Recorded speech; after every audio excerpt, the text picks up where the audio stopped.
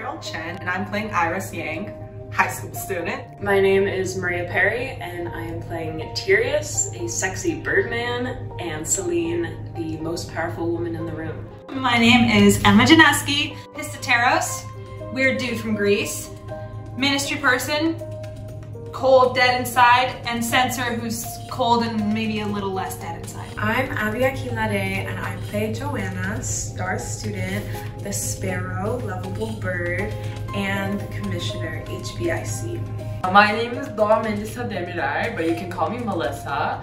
I play uh, Euripides, Dumber, uh, and Ministry just, yeah. Liam Peter Donovan. I'm playing Kane, a silly old teacher, and a whole flock of birds.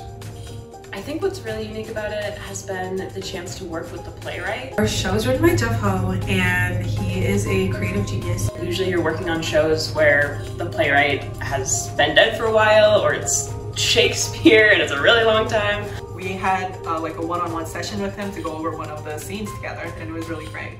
It's an adaptation of the birds, but maybe, maybe it isn't. The show is just two and a half hours of fun.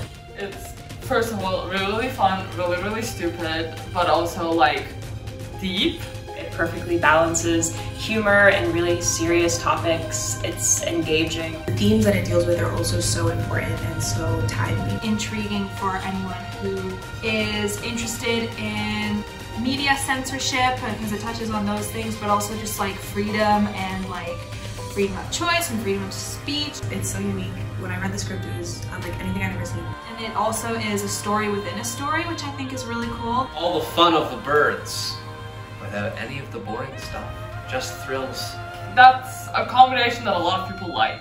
I think having this be a full year course that culminates in a full length production has meant that I've been able to use the skills that I've learned. Mainstage truly has been a culmination of like all the training that we've received. My favorite class that I've ever done at university so far.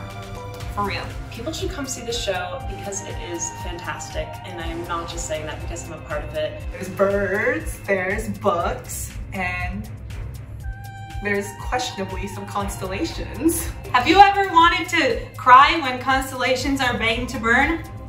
Me neither. Come see our show. Come, you'll be tweeting about it after.